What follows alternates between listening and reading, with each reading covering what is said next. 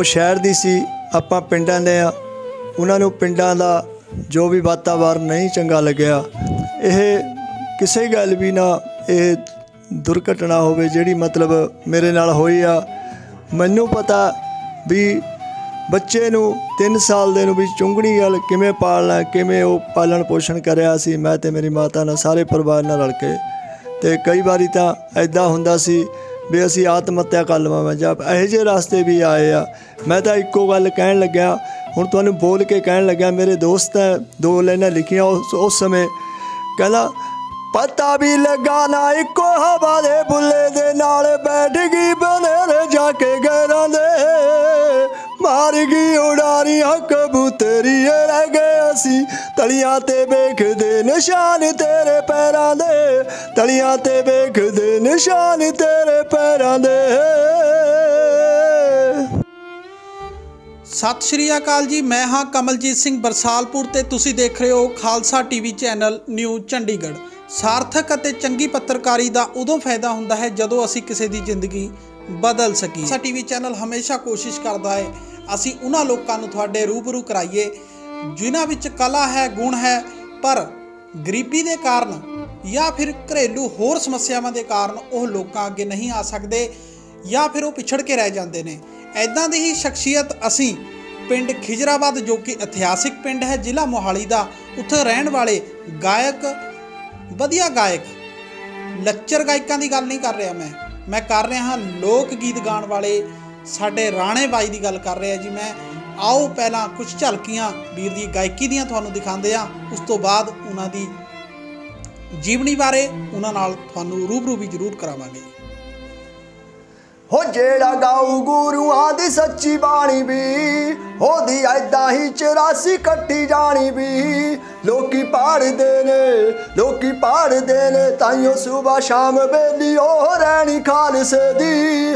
ਖਾਲਸੇ ਦੀ ਉੱਚੀ ਸ਼ਦਾ ਸ਼ਾਨ ਵੇਲੀ ਉਹ ਰਹਿਣੀ ਖਾਲਸੇ ਦੀ। ਖਾਲਸੇ ਦੀ ਉੱਚੀ ਸ਼ਦਾ ਸ਼ਾਨ ਉਹ ਰਹਿਣੀ ਖਾਲਸੇ ਦੀ। ਸਾਡੇ ਨਾਲ ਪਿੰਡ ਖਿਜਰਾਬਾਦ ਤੋਂ ਰਾਣਾ ਬਾਈ ਜੀ। ਰਾਣੇ ਵੀਰ ਪਹਿਲਾਂ ਤਾਂ ਤੁਹਾਡੀ ਬਚਪਨ ਬਾਰੇ ਬਚਪਨ ਤੋਂ ਗਾਇਕੀ ਦਾ ਕਦੋਂ ਤੋਂ ਸ਼ੌਂਕ ਸੀ ਤੁਹਾਨੂੰ? ਮੈਂ ਪਹਿਲਾਂ ਖਾਲਸਾ ਟੀਵੀ ਚੈਨਲ ਵਾਲਿਆਂ ਦਾ ਬਹੁਤ ਬਹੁਤ ਧੰਨਵਾਦ ਕਰਦਾ ਹਾਂ, ਜੋ ਗਰੀਬ ਦੇ ਘਰ ਆ ਕੇ ਜਿਨ੍ਹਾਂ ਨੇ ਥੋੜਾ ਜਿਹਾ ਸਾਨੂੰ ਮਤਲਬ ਪੂਰਾ ਉਤਸ਼ਾਹ ਦੇਣ ਦੀ ਉਹ ਸਲਾਂਘਾ ਵਰਤੀ ਆ ਤੇ ਮੈਂ ਇਹ ਜਿਹੜਾ ਬਚਪਨ ਤੋਂ ਸ਼ੌਂਕ ਤੁਸੀਂ ਕਹਿੰਦੇ ਆ, ਮੈਂ ਚੌਥੀ ਪੰਜਵੀਂ ਚ ਪੜ੍ਹਦਾ ਸੀ, ਉਸ ਉਸ ਟਾਈਮ ਤੋਂ ਮੈਨੂੰ ਇਹ ਥੋੜੀ ਜੀ ਗਾਣ ਦੀ ਲਿਪ ਲੱਗੀ ਆ ਜੀ ਤੇ ਉਸ ਟਾਈਮ ਤੋਂ ਛੋਟੇ ਛੋਟੇ ਹੁੰਦੇ ਗਾਉਂਦੇ ਰਹੇ ਤੇ ਆਪਣਾ 10ਵੀਂ ਤੱਕ ਵੀ ਅਸੀਂ ਇਕਣੀ ਗਾਉਂਦੇ ਰਹੇ ਨਾਟਕਾਂ 'ਚ ਕੰਮ ਕਰਦੇ ਰਹੇ ਜੀ। ਤੇ ਉਹ ਤੋਂ ਬਾਅਦ ਕਾਲਜ ਜਾਣ ਤੋਂ ਬਾਅਦ ਫਿਰ ਕਾਲਜਾਂ 'ਚ ਬੋਲੀਆਂ ਪਾਉਣੀਆਂ ਜਿਵੇਂ ਜਿਵੇਂ ਮਤਲਬ ਅੱਗੇ ਪ੍ਰੋਗਰਾਮ ਆਉਂਦੇ ਸੀ ਉਵੇਂ ਲਾਉਂਦੇ ਰਹੇ ਜੀ।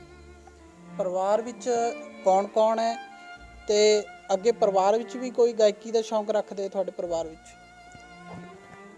ਨਹੀਂ ਪਰਿਵਾਰ ਵਿੱਚ ਮੈਂ ਕੁਝ ਕਹਿ ਨਹੀਂ ਸਕਦਾ ਕਿਉਂਕਿ ਪਰਿਵਾਰ ਵਿੱਚ ਸਾਡੇ ਪੰਜ ਛੇ ਮੈਂਬਰ ਆ, ਅਸੀਂ ਉਹਨਾਂ ਬਾਰੇ ਕੁਝ ਨਹੀਂ ਕਹਿ ਸਕਦਾ ਮੈਂ ਕਿ ਵੀ ਮਤਲਬ ਵੀ ਅੱਗੇ ਨੂੰ ਇਸ ਫੀ- ਮਤਲਬ ਫੀਲਡ ਵਿੱਚ ਆਉਣ ਤੇ ਆਪਣਾ ਜਿਹੜਾ ਮੇਰਾ ਆਪਣਾ ਸਰਕਲ ਸੀ, ਮੇਰਾ ਮੇਰੇ ਤੱਕੇ ਹਾਲੇ ਸੀਮਤ ਆ, ਕਿਉਂਕਿ ਬੱਚਿਆਂ ਬਾਰੇ ਅਸੀਂ ਕੁਝ ਨਹੀਂ ਕਹਿ ਸਕਦੇ।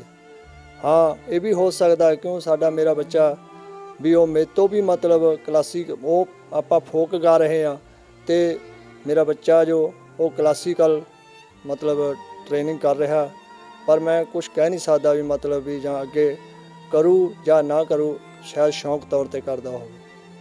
ਜਿਸ ਸਮੇਂ ਤੁਸੀਂ ਗਾਇਕੀ ਕਰਿਆ ਕਰਦੇ ਸੀ, ਉਸ ਸਮੇਂ ਤੁਹਾਡੇ ਪਿੰਡ ਤੋਂ ਹੀ ਮਨਿੰਦਰ ਮੰਗਾ ਜੀ, ਉਹ ਬੜੇ ਮਸ਼ਹੂਰ ਹੋਏ ਆ, ਉਹਨਾਂ ਦੇ ਗਾਣੇ ਵੀ ਕਈ ਅੱਗੇ ਆਏ ਸੀ, ਮਸ਼ਹੂਰ ਵੀ ਹੋਏ ਪਰ ਤੁਸੀਂ ਕਿਉਂ ਉੱਥੇ ਹੀ ਪਿਛੜ ਕੇ ਰਹਿ ਗਏ? ਸਿਰਫ ਇੱਕ ਮੇਲਿਆਂ ਦੇ ਗਾਣੇ ਤੱਕ ਤੁਹਾਡੇ ਪੋਸਟਰ ਵੀ ਲਾਂਚ ਹੁੰਦੇ ਅਸੀਂ ਤੁਹਾਡੇ ਬਾਰੇ ਜਦੋਂ ਪਤਾ ਕਰਿਆ ਪਿੰਡ ਵਿੱਚੋਂ, ਪਤਾ ਲੱਗਿਆ ਕਿ ਤੁਸੀਂ ਇੱਕ ਦੋ ਗਾਣੇ ਕੱਢੇ ਪਰ ਮਕਬੂਲ ਨਹੀਂ ਹੋ ਸਕੇ, ਉਹਦਾ ਕੀ ਕਾਰਨ ਹੈ?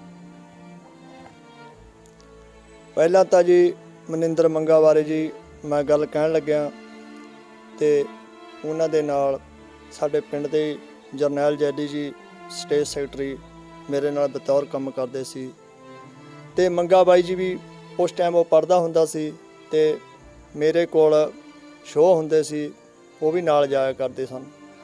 ਤੇ ਨੰਬਰ 2 ਇਹ ਗਰੀਬੀ ਕਾਰਨ ਸਾਰਾ ਕੁਝ ਇਹ ਹੋ ਗਿਆ ਕਿਉਂਕਿ ਜੋ ਉਹਨੂੰ ਗਾਈਡੈਂਸ ਕਰਨ ਵਾਲੇ ਉੱਪਰ ਕਾਲਜ ਕਾਲਜ ਦੇ ਮੁੰਡੇ ਮਿਲੇ, ਜੋ ਵੀ ਮਿਲਿਆ, ਪਰਿਵਾਰ ਮਿਲਿਆ ਕਾਲਜ ਦਾ ਜਾਂ ਕੰਪਨੀ ਵਾਲੇ ਮਿਲੇ ਆ, ਉਹ ਮੈਨੂੰ ਐਦਾਂ ਐਦਾਂ ਕਰਕੇ ਨਹੀਂ ਮਿਲੇ। ਮੈਨੂੰ ਤਾਂ ਜੋ ਵੀ ਕੰਪਨੀ ਵਾਲੇ ਮਿਲੇ ਆ, ਕਹਿਣਾ ਕੁਛ, ਕਰਨਾ ਕੁਛ ਐਦਾਂ ਮਤਲਬ ਮਿਲਦੇ ਰਹੇ ਆ। ਇਸ ਕਾਰਨ ਮੈਂ ਦੁਨੀਆ ਤੇ ਪੂਰਾ ਮਤਲਬ ਹੰਬਲ ਕੇ ਮਤਲਬ ਅੱਗੇ ਆ ਨਹੀਂ ਸਕਿਆ। ਤੁਹਾਡੀ ਆਵਾਜ਼ ਵਿੱਚ ਵੀ ਬੜਾ ਦਮ ਹੈ ਜਦੋਂ ਅਸੀਂ ਤੁਹਾਡੇ ਗੀਤ ਸੁਣਦੇ ਹਾਂ ਤਾਂ ਆਵਾਜ਼ ਵਿੱਚ ਇੰਨਾ ਦਮ ਹੋਣ ਦੇ ਬਾਵਜੂਦ ਵੀ ਕਿ ਸਿੱਖਿਆ ਵਿੱਚ ਕਿਤੇ ਕਮੀ ਰਹਿ ਗਈ ਕਿ ਰਿਆਜ਼ ਨਹੀਂ ਤੁਸੀਂ ਪ੍ਰੋਪਰ ਕਰ ਸਕੇ ਗਰੀਬੀ ਦੇ ਕਾਰਨ ਉਹ ਕਾਰਨ ਰਿਹਾ ਹੈ। ਨਹੀਂ ਜੀ ਰਿਆਜ਼ ਦੀ ਤਾਂ ਕੋਈ ਗੱਲ ਨਹੀਂ ਕਿਉਂਕਿ ਜਦੋਂ ਬੰਦਾ ਆਪਣਾ ਕ੍ਰਿਸ਼ਤੀਕਾਰੀ ਦੇ ਚੱਕਰ ਵੀ ਉਹ ਚ ਫਸ ਜਾਂਦਾ ਫਿਰ ਥੋੜਾ ਜਿਹਾ ਘੱਟ ਹੋ ਜਾਂਦਾ ਪਰ ਫਿਰ ਵੀ ਆਪਾਂ ਤਾਂ ਹੁਣ ਤੱਕ ਵੀ ਦਮ ਰੱਖਿਆ ਹੋਇਆ ਗਲੇ ਦਾ ਕਿ ਮੈਂ ਮਤਲਬ ਵੀ ਇੰਨਾ ਵਧੀਆ ਗਾਵਾਂ ਕਿ ਫੋਕ ਗਾਵਾਂ। ਤੇ ਆਪਾਂ ਉਹਨਾਂ ਨੂੰ ਮੰਨਦੇ ਆ ਜਿਨ੍ਹਾਂ ਦੇ ਕੋਲ ਮੈਂ ਸਿੱਖਿਆ ਲਈ ਆ। ਤੇ ਜਿਵੇਂ ਉਸਤਾਦ ਕੁਲਦੀਪ ਮਾਨਕ ਜੀ ਸਾਹਿਬ, ਉਹਨਾਂ ਦੇ ਕੋਲ ਬਹੁਤ ਸੰਗਤ ਕੀਤੀ ਆ। ਮੈਂ ਉਹਨਾਂ ਦੇ ਜਾਣੀ ਕਿ ਬਹੁਤ ਕੋਲ ਰਿਹਾ, ਬਹੁਤ ਕੰਮ ਕੀਤੇ ਆ। ਮਤਲਬ ਕਹਿਣ ਦਾ ਭਾਵ ਉਹਨਾਂ ਨਾਲ ਸਟੇਜਾਂ ਤੇ ਵੀ ਜਾਂਦਾ ਰਿਹਾ। ਕੁਲਦੀਪ ਪਾਰਸ ਜੀ ਤੇ ਸਰਜੀਤ ਬਿੰਦਰਖੀਆ ਜੀ ਇਹ ਤਾਂ ਅਸੀਂ ਆਪਣੇ ਆਪ ਜਾਣੀ ਕਿ ਕਹਿੰਦੇ ਮੈਂ ਕਹਿੰਦਾ ਹਾਂ ਕਿ ਸੰਧੂ ਕੋਲ ਜਾਣੇ ਤੋਂ ਪਹਿਲਾਂ ਅਸੀਂ ਇਹਨਾਂ ਨੂੰ ਮ- ਮਤਲਬ ਵਿਆਹਾਂ ਤੇ ਪ੍ਰੋਗਰਾਮਾਂ ਲਈ ਲਿਜਾਂਦੇ ਰਹੇ ਆ ਜੀ ਤੇ ਆਪ, ਮੈਂ ਆਪ ਵੀ ਦੂਰਦਰਸ਼ਨ ਤੇ ਪਹਿਲੀ ਵਾਰੀ ਅਸੀਂ ਦੋਨਾਂ ਨੇ ਇਕੱਠਿਆਂ ਨੇ, ਮੈਂ ਤੇ ਬਿੰਦਰਖੀਆ ਜੀ ਨੇ ਇਕੱਠਿਆਂ ਨੇ ਬੋਲੀਆਂ ਪਾਈਆਂ ਸੀ, ਉਹ ਵੀ ਕੋਈ ਟਾਈਮ ਸੀ ਕਿਉਂਕਿ ਹੁਣ ਖਰਚੇ ਵੀ ਵੱਧ ਗਏ ਨੇ ਤੇ ਆਪਾਂ ਮਾੜਾ ਧੀੜਾ ਬੰਦਾ ਕੋਈ ਪ੍ਰੋਗਰਾਮ ਨਹੀਂ ਕਰਾ ਸਕਦਾ। ਪਹਿਲਾਂ ਤਾਂ ਇਹ ਤਾਂ, ਇਹ ਸੀ ਕਿ 1.5 150 ਰੁਪਏ ਵਿੱਚ ਬੰਦੇ 뮤직 ਵਾਲੇ ਚਲੇ ਜਾਂਦੇ ਸੀ। ਉਸ ਟਾਈਮ ਪੈਸੇ ਦੀ ਵੈਲਿਊ ਸੀ। ਹੁਣ ਗੱਲ ਐਦਾਂ ਜੀ ਅੱਜ ਕੱਲ ਇੰਨਾ ਪੈਸਾ ਕੋਈ ਲਾਉਂਦਾ ਨਹੀਂ। ਇਸ ਕਰਕੇ ਅਸੀਂ ਥੋੜਾ ਜਿਹਾ ਪਿੱਛੇ ਬੈਠੇ। ਤੁਹਾਡੇ ਕਹਿਣ ਦਾ ਮਤਲਬ ਕਿ ਡੀਜੇ ਦਾ ਦੌਰ ਆਣ ਆਉਣ ਕਾਰਨ ਜਿਹੜੇ ਪ੍ਰੋਗਰਾਮ ਲੱਗਿਆ ਕਰਦੇ ਸੀ ਸੱਭਿਆਚਾਰਕ ਪ੍ਰੋਗਰਾਮ ਹੋਇਆ ਕਰਦੇ ਸੀ ਉਹ ਹੋ ਗਏ ਬੰਦ।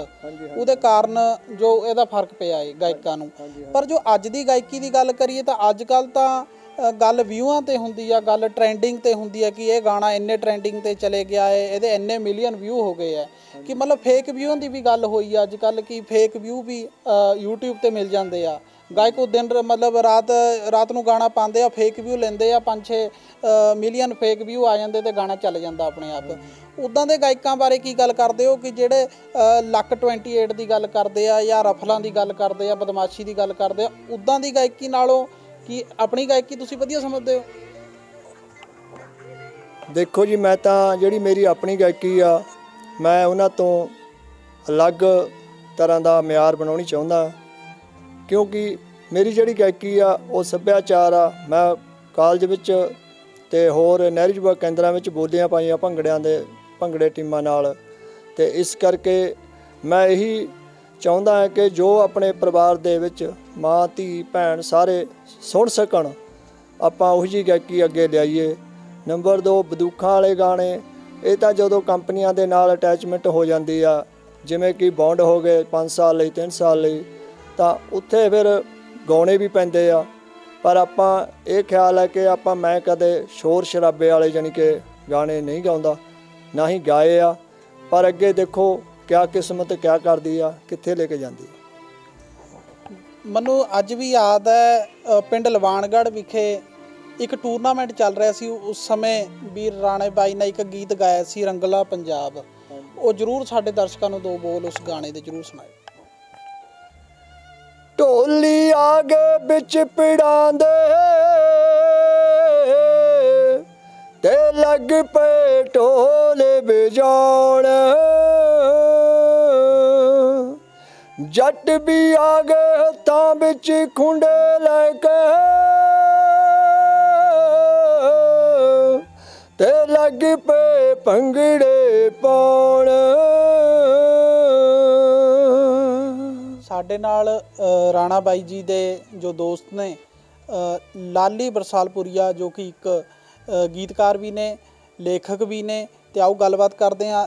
ਲਾਲੀ ਜੀ, ਕਿੱਦਾਂ ਦੇਖਦੇ ਹੋ? ਰਾਣਾ ਵੀਰ ਗਾਇਕੀ ਦੀ ਸ਼ੁਰੂਆਤ ਤੋਂ ਹੀ ਸਟੇਜ ਸ਼ੋਅ ਲਾਉਂਦੇ ਰਹੇ, ਹੋਰ ਪ੍ਰੋਗਰਾਮਾਂ ਵਿੱਚ ਹਿੱਸਾ ਲੈਂਦੇ ਰਹੇ। ਪਰ ਅੱਜ ਗਾਇਕੀ ਦੀ ਸਫ਼ਰ ਦੁਬਾਰਾ ਸ਼ੁਰੂ ਕਰਨਾ ਚਾਹੁੰਦੇ ਆ ਤਾਂ ਤੁਸੀਂ ਇਹਦੇ ਬਾਰੇ ਕੀ ਕਹਿਣਾ ਚਾਹੁੰਦੇ ਹੋ? ਪਹਿਲਾਂ ਜੀ ਮੈਂ ਖਾਲਸਾ ਟੀਵੀ ਚੈਨਲ ਵਾਲਿਆਂ ਦਾ ਬਹੁਤ ਜ਼ਿਆਦਾ ਧੰਨਵਾਦ ਕਰਦਾ ਜੀ। ਬਾਕੀ ਸਾਰੇ ਵੀਰ ਰਾਣਾ ਜੀ ਆ ਇਹ ਸ਼ੁਰੂ ਤੋਂ ਹੀ ਸਾਡੀ ਦੀ ਵੈਸੇ ਪੜ੍ਹਾਈ ਮੈਂ ਪੜ੍ਹਦਾ ਸੀ ਇੱਥੋਂ ਖਜਰਾਬਾਦ ਚ। ਪਲੱਸ 2 ਵਿੱਚ ਪੜ੍ਹਦਾ ਸੀ ਜੇ ਇਹਨਾਂ ਨਾਲ ਮੇਰੀ ਦੋਸਤੀ ਪਈ ਆ। ਕਿ ਇਹ ਵੀ ਸਟੇਜ ਸ਼ੋਅ ਲਾਏ ਕਰਦੇ ਸੀ ਪਹਿਲੇ। ਬਹੁਤ ਪ੍ਰੋਗਰਾਮ ਮਿਲਦੇ ਸੀ ਪਹਿਲੇ ਵੀਰ ਰਾ- ਰਾਣੇ ਨੂੰ। ਫਿਰ ਕੁਝ ਘਰ ਦੀ ਕਮੀ ਕਾਰਨ ਜਾਂ ਗਰੀਬੀ ਕਾਰਨ ਕਹਿ ਲਓ ਜੀ, ਇਹਨਾਂ ਇਹਨੂੰ ਪਿੱਛੇ ਹਟਣਾ ਪਿਆ ਮਾੜਾ ਜਿਹਾ। ਬਾਕੀ ਅਸੀਂ ਹੁਣ ਰਾਣੇ ਵੀਰ ਦੇ ਗੈਲ ਆ ਅਸੀਂ ਇਹਨੂੰ ਮੈਂ ਵੀ ਦੋ ਤਿੰਨ ਸੱਭਿਆਚਾਰ ਗਾਣੇ ਲਿਖ ਕੇ ਦਿੱਤੇ ਆ, ਜੋ ਕਿ ਸੱਭਿਆਚਾਰਕ ਗਾਣੇ ਜ਼ਿਆਦਾ ਕਰਕੇ ਗਾਉਂਦਾ ਮੁੰਡਾ ਇਹ, ਕਿ ਜੀ ਜੋ ਲੋਕਾਂ ਨੂੰ ਪਸੰਦ ਆ। ਕਿ ਜਿਸ ਕਰਕੇ ਘਰਾਂ ਮਾਇਆ ਧੀਆਂ ਭੈਣਾਂ ਸਾਰੀਆਂ ਬੈਠ ਕੇ ਸੁਣ ਸਕਣ, ਇਹ ਉਹੋ ਜਿਹੇ ਪ੍ਰੋਗਰਾਮ, ਉਹੋ ਜਿਹੇ ਗੀਤ ਇਹ ਆਪਣੇ ਉਹ ਕਰ ਰਿਹਾ ਰਿਲੀਜ਼ ਕਰ ਰਿਹਾ ਕਿਸ਼ਤਾਂ ਵਿੱਚ। ਬਾਕੀ ਅਸੀਂ ਵੀ ਦੀ ਵੱਧ ਚੜ ਕੇ ਮਦਦ ਕਰਨੀ ਆ ਕਿ ਸਾਡਾ ਵੀ ਰਾਣਾ ਅੱਗੇ ਤੇ ਗਾਇਕੀ ਦੌਰ ਵਿੱਚ ਸਭ ਤੋਂ ਅੱਗੇ ਆਵੇ। ਜਿਸ ਤਰ੍ਹਾਂ ਹੋਰ ਕਲਾਕਾਰ ਅੱਜ ਕੱਲ੍ਹ ਛਾਏ ਹੋਏ ਨਾ, ਕੋਈ ਰਫਲਾਂ ਵਾਲਾ ਗਾਣਾ ਕੱਢਦਾ, ਕੋਈ ਬਦੂਕਾ ਕੋਈ ਕੋਈ ਵੀ ਗਾਣਾ ਕੱਢ ਰਿਹਾ, ਲੜਾਈਆਂ ਵਾਲੇ ਗਾਣੇ ਕੱਢ ਰਹੇ। ਪਰ ਸਾਡਾ ਰਾਣਾ ਵੀਰ ਸੱਭਿਆਚਾਰਕ ਗਾਣਿਆਂ ਵਿੱਚ ਅੱਜ ਉਹੀ ਸਭ ਤੋਂ ਅੱਗੇ, ਜਿੱਕਣਾ ਉਹ ਕਲਾਕਾਰ ਅੱਜ ਅੱਗੇ ਛਾਏ ਵੇ ਨਾ, ਸਾਡਾ ਵੀ ਰਾਣਾ ਵੀ ਉਹਨਾਂ ਤੱਕ ਅੱਕਣਾ ਅੱਗੇ ਛਾਵੇ। ਅਸੀਂ ਇਹਨਾਂ ਦੇ ਵੱਧ ਤੋਂ ਚੜ੍ਹ ਕੇ ਮਦਦ ਕਰੂੰਗੇ। ਬਾਕੀ ਹੋਰ ਵੀਰਾਂ ਨੂੰ ਗੁਜ਼ਾਰਿਸ਼ ਆ ਮੇਰੀ ਕਿ ਸਾਰੇ ਇਹਦੀ ਇਸ ਤਰ੍ਹਾਂ ਮਦਦ ਕਰਨ ਕਿ ਸਾਡਾ ਵੀ ਰਾਣਾ ਵੀ ਗਾਇਕੀ 'ਚ ਸਭ ਤੋਂ ਅੱਗੇ ਆਵੇ, ਜਿੱਕਣਾ ਅੱਜ ਕੱਲ੍ਹ ਅੱਗੇ ਕਲਾਕਾਰ ਚੱਲ ਰਹੇ ਆ। ਧੰਨਵਾਦ। ਸਾਡੇ ਨਾਲ ਰਾਣਾ ਬਾਈ ਜੀ ਦੇ ਮਾਤਾ ਵੀ ਸਾਡੇ ਨਾਲ ਨੇ। ਆਓ ਉਹਨਾਂ ਨਾਲ ਵੀ ਗੱਲਬਾਤ ਕਰਦੇ ਹਾਂ। ਮਾਤਾ ਕਿੱਦਾਂ ਲੱਗਦਾ ਹੈ ਕਿ ਪਹਿਲਾ ਸਟੇਜ ਸ਼ੋਅ ਵੀ ਰਾਣਾ ਜੀ ਕਰਿਆ ਕਰਦੇ ਸੀ? ਕਿਉਂ ਇੰਨਾ ਕਿ ਕਿੱਦਾਂ ਬਦਲਾ ਆ ਗਿਆ? ਗੁਮਨਾਮੀ ਵਿੱਚ ਚਲੇ ਗਏ ਕਿ ਉਹ ਸਾਰੇ ਸਟੇਜ ਸ਼ੋਅ ਛੱਡ ਕੇ ਇਹ ਘਰ ਹੀ ਬੈਠ ਕੇ ਕੀ ਕਾਰਨ ਹੈ ਉਹਦਾ? ਕਾਰਨ ਤਾਂ ਇਹੀ ਆ ਵੀ ਇਹਨਾਂ ਦਾ ਪਾਪਾ ਇਕੱਲਾ ਤਾਂ ਕਮਾਉਣ ਵਾਲਾ ਖਰਚੇ ਵਾਧੂ ਤੇ। ਉਹਦੇ ਕਾਰਨ ਫਿਰ ਇਹ ਥੋੜਾ ਪਿੱਛੇ ਰਹਿ ਗਿਆ। ਠੀਕ ਹੈ ਜੀ। ਪਰਿਵਾਰ ਵਿੱਚ ਇਹਨਾਂ ਦੇ ਘਰ ਦੇ ਕਿੱਥੇ ਆ ਜੀ? ਘਰ ਦੇ ਤਾਂ ਹੁਣ ਮ- ਜੇ ਤਾਂ ਹੁਣ ਤੁਸੀਂ ਪਿਛਲਾ ਪਿਛੋਕੜ ਪੁੱਛਣਾ ਫਿਰ ਤਾਂ ਬਾਹਰ ਹੈ ਅੱਛਾ। ਇਹਨੂੰ 30 ਸਾਲ ਹੋ ਗਏ ਮੇਰੇ ਕੋਲੇ ਰਹਿੰਦੇ ਨੂੰ। ਠੀਕ ਹੈ ਜੀ। ਅਸੀਂ ਉਹ ਪਾਲਿਆ ਪੋਸਿਆ ਕੋ ਸਾਡੇ ਹੀ ਪੂਰੀ ਮਤਲਬ ਚੱਲਦਾ ਇਹਦਾ। ਠੀਕ ਹੈ ਜੋ ਇਹਨਾਂ ਦੇ ਬੇਟੇ ਉਹਨਾਂ ਨੂੰ ਆਪੇ ਤੁਸੀਂ ਉਹ ਮਤਲਬ ਸਾ- ਅਸ- ਹਾਂ ਅਸੀਂ ਪਾਲ ਰਹੇ ਹਾਂ। ਠੀਕ ਆ ਅਸੀਂ ਆਪਣੇ ਸਰੋਤਿਆਂ ਨੂੰ ਦੱਸ ਦਈਏ ਰਾਣਾ ਜੀ ਦੀ ਜੋ ਘਰ ਵਾਲੀ ਤੋਂ ਇਹਨਾਂ ਨੂੰ ਛੱਡ ਕੇ ਚਲੇ ਗਏ ਸੀ ਉਸ ਤੋਂ ਬਾਅਦ ਉਹਨਾਂ ਦਾ ਇੱਕ ਲੜ ਬਿਲਕੁਲ ਇਹ ਤਿੰਨ ਸ- ਦਾ ਜੋ ਬੱਚਾ ਸੀ ਇਹਨਾਂ ਦਾ ਉਹ 3 ਸਾਲ ਦਾ ਸੀ। ਉਸ ਤੋਂ ਬਾਅਦ ਰਾਣਾ ਜੀ ਹੀ ਆਪਣੇ ਬੇਟੇ ਨੂੰ ਜੋ ਪਾਲ ਰਹੇ, ਉਹਨੂੰ ਵੀ ਅੱਗੇ ਜੋ ਪੜ੍ਹਾਈ ਆ ਉਹਦੀ ਕਰਾ ਰਹੇ ਆ।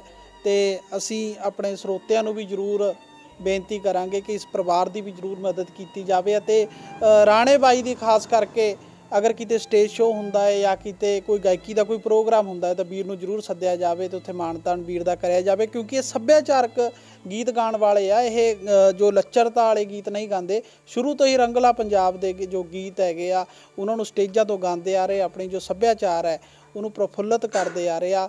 ਅਸੀਂ ਧੰਨਵਾਦ ਕਰਦੇ ਆਪਣੇ ਸਾਰੇ ਸਰੋਤਿਆਂ ਦਾ ਜੋ ਲਗਾਤਾਰ ਸਾਡੀ ਇਸ ਵੀਡੀਓ ਦੇ ਨਾਲ ਬਣੇ ਹੋਏ ਸੀ, ਤੇ ਅਸੀਂ ਆਸ ਕਰਦੇ ਹਾਂ ਤੁਸੀਂ ਸਾਡੇ ਇਦਾਂ ਹੀ ਸਾਡੇ ਚੈਨਲ ਨੂੰ ਪਿਆਰ ਦਿੰਦੇ ਰਹੋਗੇ।